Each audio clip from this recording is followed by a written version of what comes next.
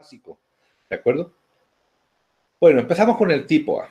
El tipo A hemos dicho que es un convertidor donde la tensión media es positiva y la corriente es positiva. O sea que se entrega energía desde la fuente primaria a la carga.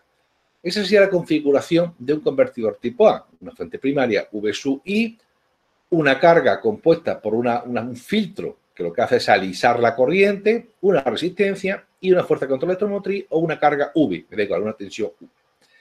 Veis aquí que la tensión media que estoy entregando, yo calculo la tensión media de V sub 0, es positiva. Y la corriente es positiva. Puede ser continuada o discontinua. Vamos a suponer, nosotros normalmente, si no se dice nada, vamos a considerar que la corriente es continuada. ¿Qué significa que la corriente es continuada? Que la I mínima en ningún momento se hace cero. Bien, esto sería en este caso el interruptor. Vamos a ver un poco el funcionamiento que estamos diciendo. Os voy a poner aquí una, la animación flash.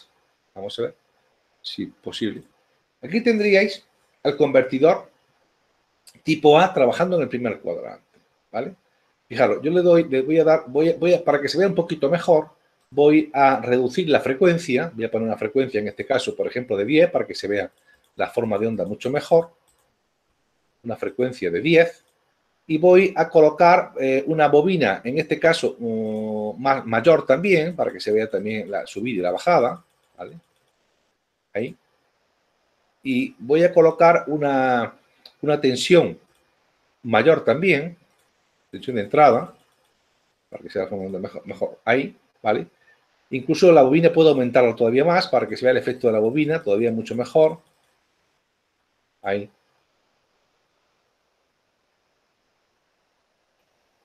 Bien, ahí se ve un poquito mejor también, ¿no?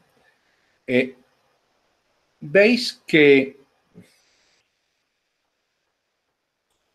estaríamos en el primer cuadrante, está funcionando, si observáis, yo entrego eh, energía de la fuente primaria de la carga, todo el circuito, la parte en rojo, estaríamos entregando energía a la carga, y cuando abro el interruptor, ahora la energía que hay almacenada se deriva a través del diodo, que se pone, es un diodo que se llama diodo volante, en principio el diodo estaría en inverso, ahora está en inverso, no conduce el diodo, la polaridad de la bobina sería más o menos, cuando se abre dicho interruptor, ahora cambia de polaridad la bobina y la energía que almacena la bobina se deriva a través del diodo. Si el tiempo es suficientemente grande como para que la intensidad se haga cero, la corriente se hace discontinua.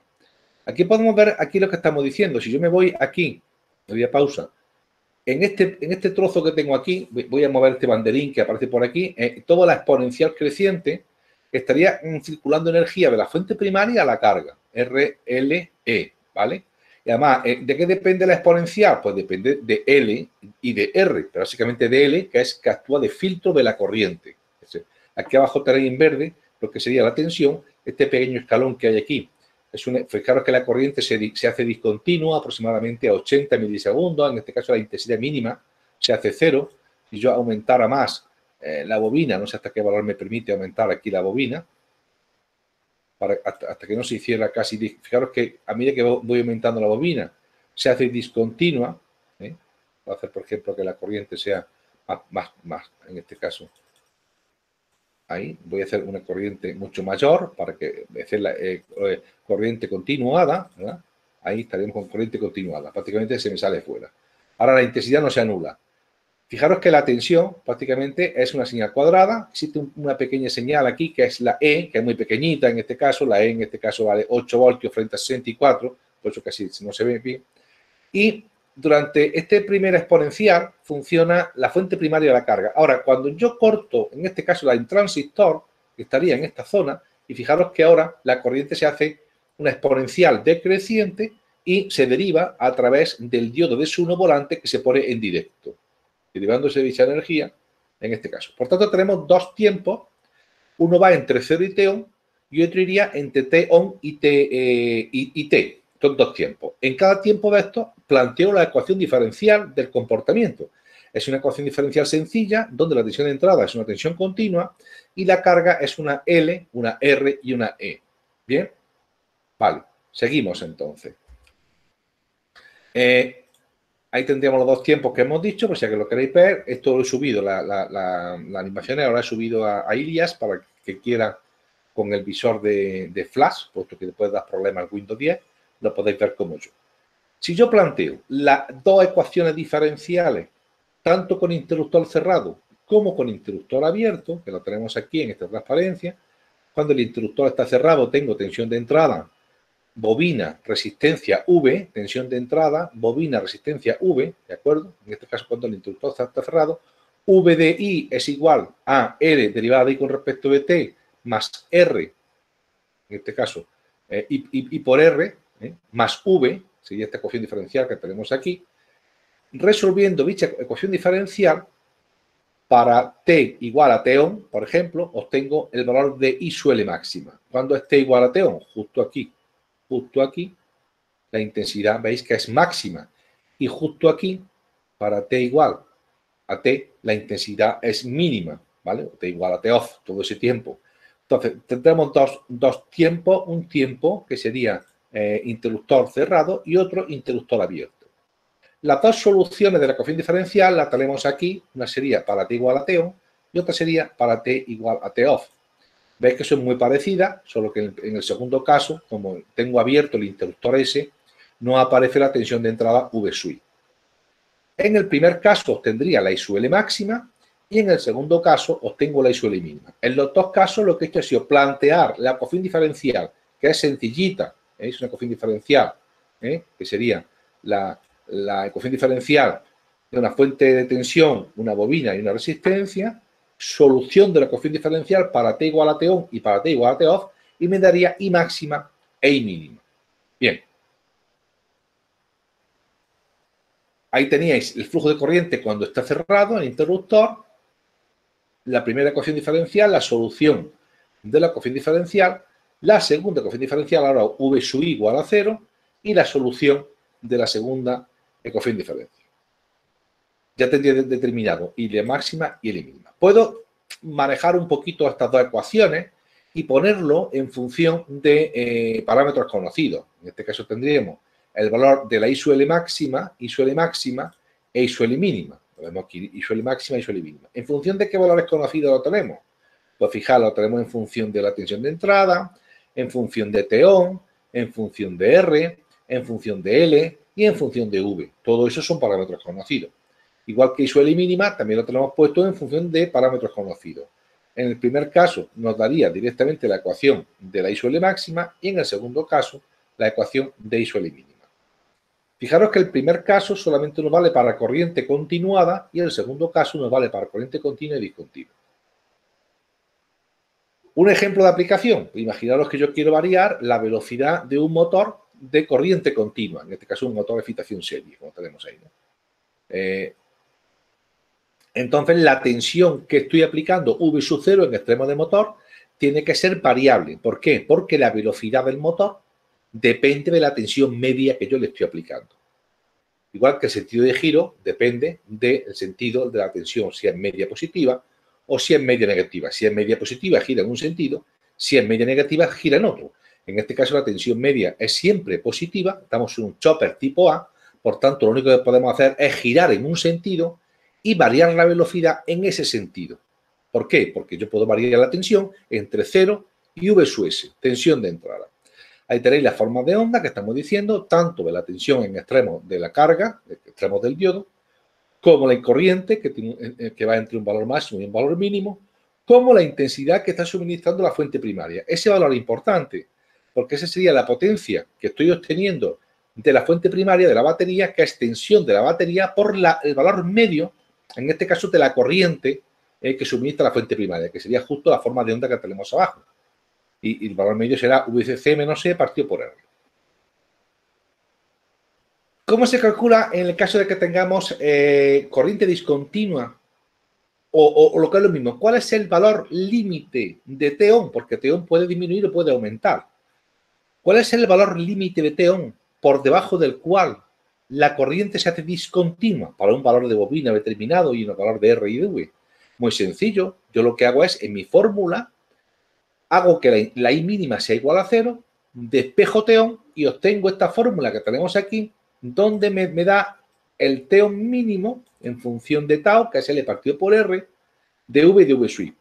Valor mínimo de T-on para que la corriente se haga discontinua. O sea, por debajo del cual la corriente se hace discontinua, ¿vale? que es quizás una de las primeras cosas que tenemos que calcular.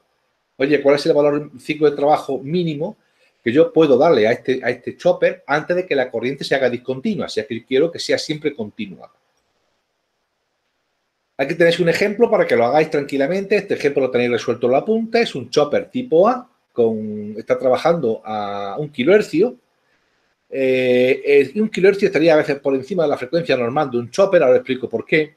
Y es igual a 220, que es la tensión de entrada, la resistencia 5 ohmios y la inductancia 7,5 miliamperes. Para hacerlo más sencillo, vamos a considerar que la fuerza contra la electromotriz vale 0. Y vamos a tomar un ciclo de trabajo de 0,5. O sea que el T-on es igual al T-off igual a la mitad del periodo. Se pide la corriente mínima, la corriente máxima, el rizado, que es I máxima menos I mínima, y el valor medio de la intensidad en la carga. ¿Vale? Bien. El valor medio de la intensidad de la carga es su E sub 0 partido por R en este caso. La I máxima, la I mínima se obtiene a partir de la fórmula que hemos calculado. Eh, esto sería haciendo el cálculo a partir de la solución de la cofin diferencial. ¿Vale? Se podría hacer lo siguiente. Si, fijaros, si la frecuencia si la, frecuencia de trabajo es suficientemente pequeña, ¿eh? suficientemente pequeña, puedo considerar que la carga y la descarga del condensador es, de, perdón, de la bobina, la carga de, la corriente que circula por la bobina, es lineal. ¿Por qué? Claro, fijaros, si yo tengo en principio, si yo tengo aquí, vamos a ver si, me sale aquí la, pizarra. Esto lo vamos a ver rápidamente. Vamos a ver si se abre la pizarra. Eh, fijaros que en este ejemplo, yo he, dicho antes, normalmente trabajamos baja frecuencia, 300 Hz, 400, 250, y en este ejemplo concreto que he puesto, he puesto un K. Un K se puede considerar una aproximación razonable, considerar que la carga y descarga o la corriente que circula por la bobina es lineal. O sea, eh, que la forma de onda es una línea, ¿vale? KT, igual que la carga y la descarga cuando nosotros hemos hecho ahora mismo un cálculo donde hemos considerado que la carga es tipo exponencial, como una constante L partido por R, y la descarga exponencial. Vamos, esto está tardando bastante en abrirse esta pizarra del Windows. A ver si puede ser que se abra. Y si no, pues cogemos una transparencia en blanco aquí. Fijaros, si yo, por ejemplo, yo tengo en este caso una señal eh, suficientemente, ¿cómo se, se otra?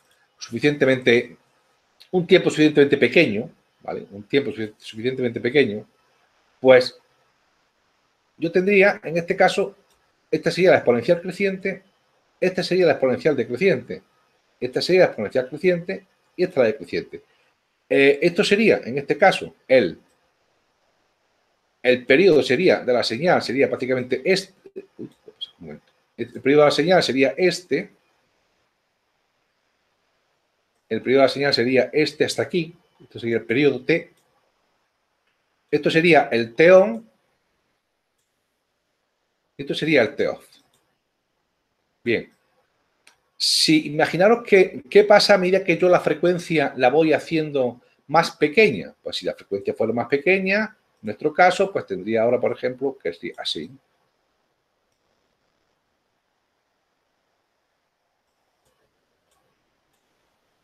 Si la frecuencia es suficientemente pequeña, ¿vale? Prácticamente la carga y la descarga del condensador, pues estoy trabajando en una zona concreta, determinada de la curva, por tanto la puedo considerar lineal, en este caso, una zona que tengo aquí de la curva, ¿vale? Este. Entonces, en este caso, en esta zona de la curva, se puede considerar que la mm, corriente que circula por la bobina es una corriente lineal. Si, la frecuencia fuera suficientemente pequeña, pues entonces sería así. T-on, T-off, T-on, T-off. ¿Por qué? Pues porque si no haría así. A medida que voy aumentando lógicamente la frecuencia, iría haciéndose de esta manera.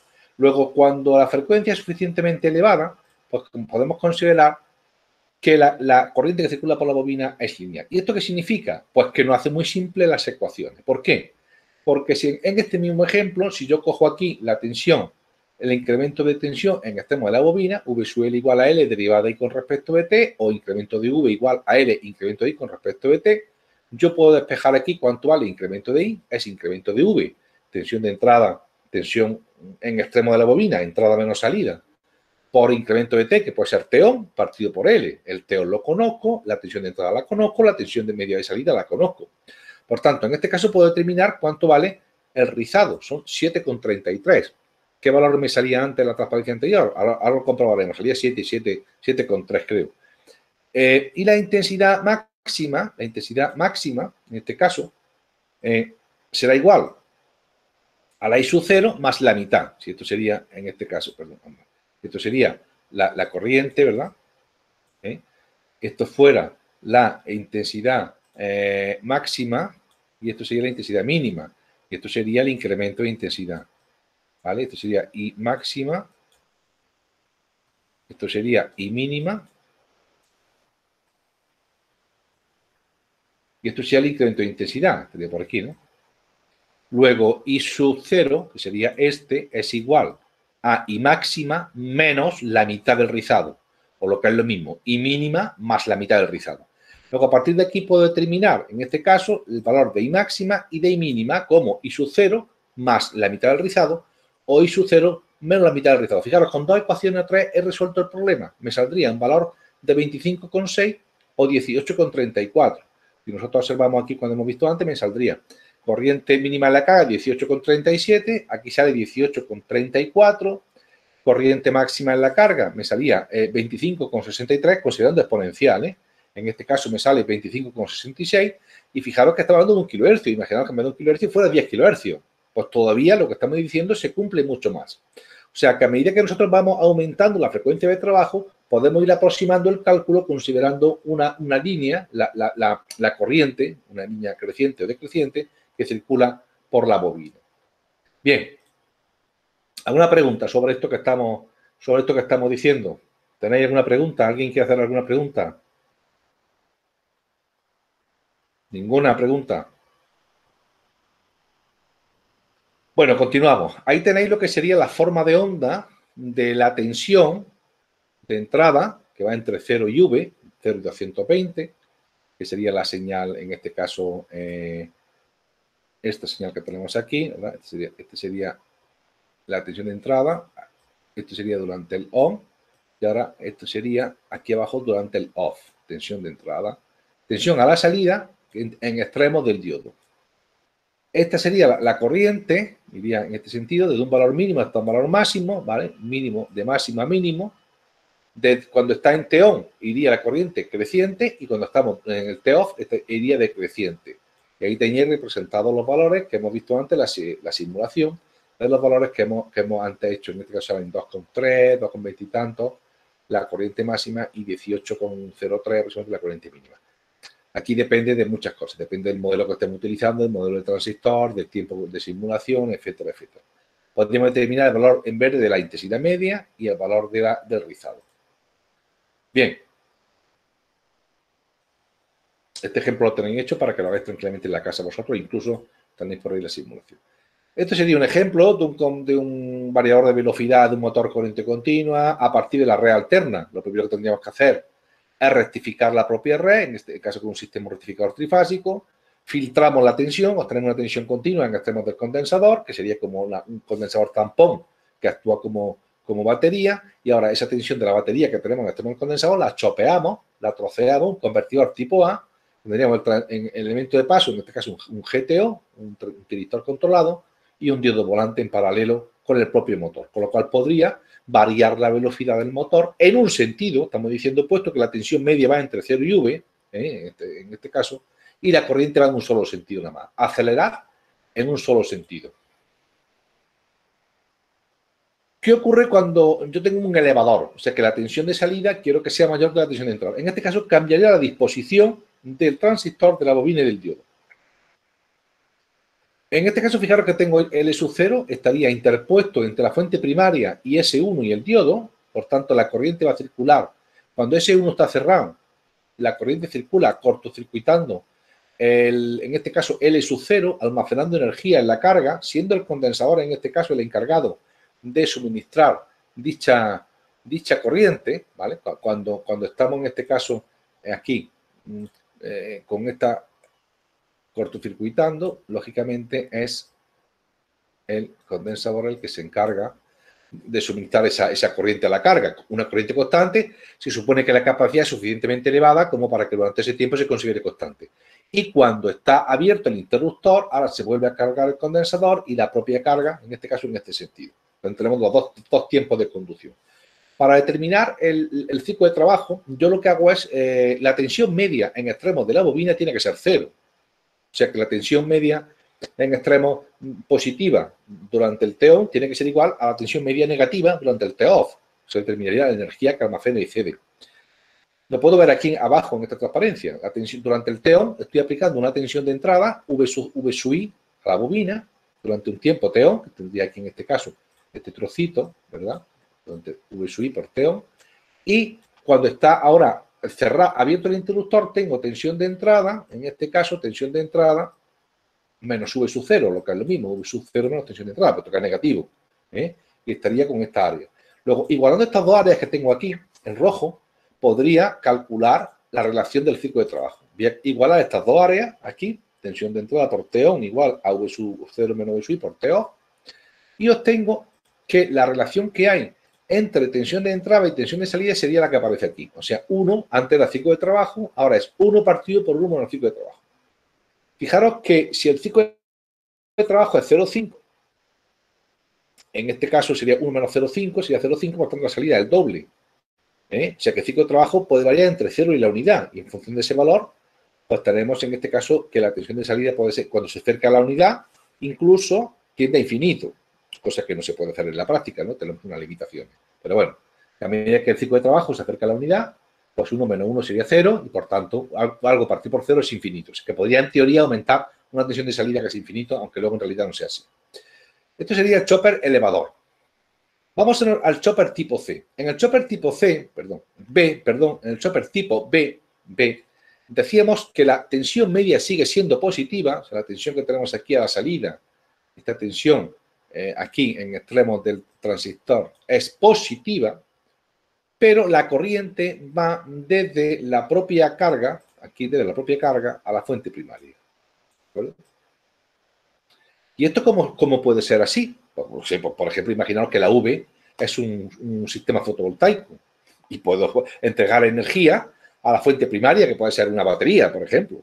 O imaginaros que la RLV es un motor, un motor que pasa a actuar a, modo generador. Yo le quito la limitación, sigue girando y pasa a actuar de modo generador y por tanto se invierte la corriente que estaría en este caso circulando. Fijaros que la corriente es negativa, mientras que la tensión media, arriba vemos la forma de onda, sigue siendo positiva, ¿de acuerdo? Vemos la, forma de trabajo.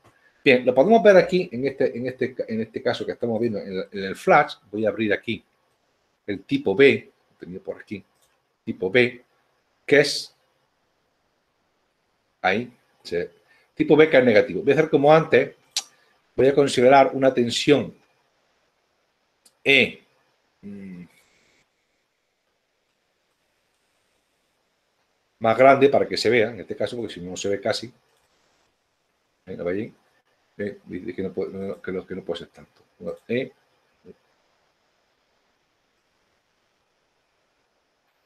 Vamos a por ejemplo, 21. Vamos a considerar una frecuencia un poquito más pequeña, también para que se vea igual que antes, aunque sea, por ejemplo, 10. 10 o 15, bueno, ya venga, se ve un poquito mayor. Y voy a considerar una bobina pues más grande también, para que se vea más el efecto inductivo. ¿Eh? Vamos a ver todavía más. El efecto inductivo. Sigue habiendo corriente discontinua en este caso. ¿eh? Tendría que ir modificando los parámetros. Pero fijaros, ¿cómo funciona esto? Cuando está, en este caso, cerrado el interruptor, la energía va en ese sentido. Y cuando se abre, la energía va a la fuente primaria. O sea que en este caso se, interconectan los papeles del transistor del tipo A y del diodo volante. ¿Por qué? Porque ahora solamente se devuelve energía a la red cuando estaría abierto, como ahora vemos, se abre el interruptor S y la corriente va en ese sentido. La bobina trae en cuenta que durante un tiempo está con una polaridad, la podéis ver ahí, y luego se invierte dicha polaridad. Fijaros que está en conectados, veis cómo se ha invertido la polaridad de la bobina. Puedo coger aquí y ver también en, qué modo estamos. Fijaros, estaríamos en esta parte de aquí, estaríamos eh, con el interruptor cerrado durante el T-on, ¿lo veis? Y ahora, aquí durante este trozo estaríamos durante el T-off. que hay interruptor abierto y devolviendo energía a la fuente primaria. Podemos jugar con la animación, variar la tensión de entrada, la tensión de salida, variar la, inductancia, variar los tiempos, etcétera, etcétera, para ver un poco lo que el ciclo de trabajo, para, ver un poco qué pasaría, ¿no? En este caso. ¿eh? Podemos ir cambiando el ciclo de trabajo que estaría aquí, poner mayor, poner menor, etcétera. ¿eh? Por tanto, varía las formas de onda correspondientes. Una aplicación directa de este tipo de convertidor. Pues imaginaros, por ejemplo, que yo tengo un motor que está girando, eh, le quito la alimentación y le coloco un chopper tipo B. Tipo, tipo B. El motor pasaría de, motor a generador. Como, que es un motor que tiene mucha inercia y que cuando yo le quito la alimentación sigue girando. Sigue girando y pasa a convertirse como un generador. Si yo le coloco en paralelo, como vemos aquí, una eh, resistencia de frenado, resistencia de frenado, ¿vale? Resistencia significa que en función de que la resistencia sea mayor o sea menor, la corriente que le estoy pidiendo es mayor o es menor. Y por tanto, cuanto mayor sea la corriente, más se frena el motor. Por tanto, usamos eh, un frenado reostático que se llama, imagino que lo habéis visto esto en alguna asignatura. ¿Y qué es lo que hago yo con, con el chopper? Bueno, yo con el chopper lo que hago es modificar la impedancia equivalente, en este caso, la impedancia equivalente que estaría viendo, en este caso, el propio motor. El propio motor ve una impedancia que es variable en función del chopper y, por tanto, si el ciclo de trabajo es mayor o el ciclo de trabajo es menor, pues en la resistencia equivalente es mayor o es menor. Luego veréis que en vez de usar la resistencia RSUF, que sería un, frenado reostático donde la corriente se, se, disipa, vamos, se circula por la corriente y, se, y el frenado, se, la energía de frenado se, se, disipa en forma de calor, se utiliza en este caso una devolución de la energía a la propia red, con lo cual no habría ese desperdicio de energía. Eso es lo que se llama frenado regenerativo, en este caso del motor. Aquí tenéis un motor de corriente continua, excitación independiente, puede ser de pequeña potencia, de alta potencia. El modelo, que creo que lo habéis visto en alguna de las asignaturas, aquí tenéis el, inductor sería, en este, por una parte tenéis el, inductor, por otra parte el inducido, que sería la corriente que circula por el inductor, creando un flujo magnético aquí que es abrazado por el inducido, por el que circula otra corriente. Podemos plantear la fórmula más importante del inductor y del inducido, ¿vale? Y en esta fórmula, al final, podríamos ver, esa es la fórmula de la tensión del inductor, tensión del inducido función de la corriente, la fuerza contra la electromotriz, la, la constante del par motor, la constante de velocidad y eso sería lo que es la parte de, los pares correspondientes. Al final podemos ver una ecuación, que sería esta ecuación que tenemos aquí, donde en esta ecuación nos relaciona la velocidad con la que gira el motor con las tensiones de alimentación y las corrientes del inductor y del inducido. Y podemos ver que hay dos zonas. Una zona que se llama variación de la velocidad a potencia constante y otro que es variación de la velocidad a par constante. O sea que manteniendo el par constante, lo que es lo mismo, la tensión del inductor, varío el inducido, la tensión del inducido, eso sería potencia, a potencia constante, o al revés. Por tanto, puedo variar la velocidad, en resumen, variando, en este caso, la tensión que estoy aplicando del inductivo.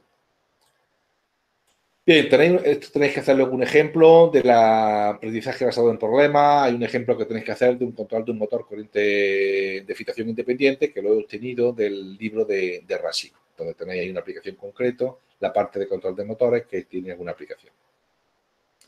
Vámonos al tipo C. Y antes voy a poner la animación para que lo tengáis un poquito más claro. El tipo C, ¿en qué consistía? El tipo C consistía en A y B, mezclar los dos.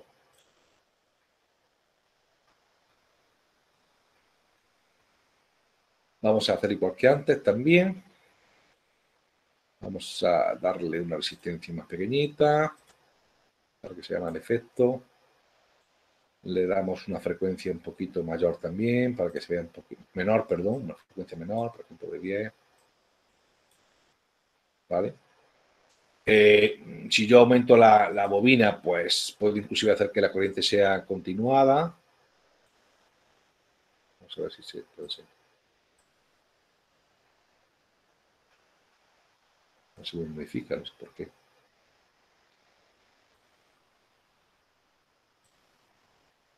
Debería modificarse, bueno, de, tocar aquí, porque la forma de donde nos está se está cambiando. Voy a quitar esto. ahí tenemos dos tiempos, puedo hacer incluso que la corriente sea continuada. Fijaros, yo tengo dos transistores, dos diodos. ¿Cómo estaría funcionando el primer cuadrante? El primer cuadrante sería el tipo A. En el primer cuadrante tengo S1, igual que veíamos antes, y cuando S1 se abre, ¿eh? actuaba el diodo. Estaría ahora en la exponencial decreciente, ¿lo veis? exponencial decreciente, se está cortocircuitando la carga y la bobina, se ha invertido polaridad, hay exponencial creciente, en este caso entregando de la fuente primaria a la carga. Fijaros que estoy en el primer cuadrante. ¿eh? Vale. Si el S1 y el diodo 2 actúan en el primer cuadrante, en este caso, ahora en el segundo cuadrante, sería S2 y diodo 1. ¿Veis? diodo 1 estaríamos entregando energía de la, carga a la fuente primaria, fijaros que ha cambiado la forma de onda, ahora la corriente negativa, corriente negativa, estaría cortocircuitando la carga o bien entregando a la fuente primaria. Ahora mismo, en este chopper tipo, tipo B, tipo B, o lo hago trabajar en el A o lo, hago trabajar en el C. Perdón, en el B. Chopper tipo C, no lo liemos. Chopper tipo C. O, o trabaja en el A o trabaja en el B. Bien.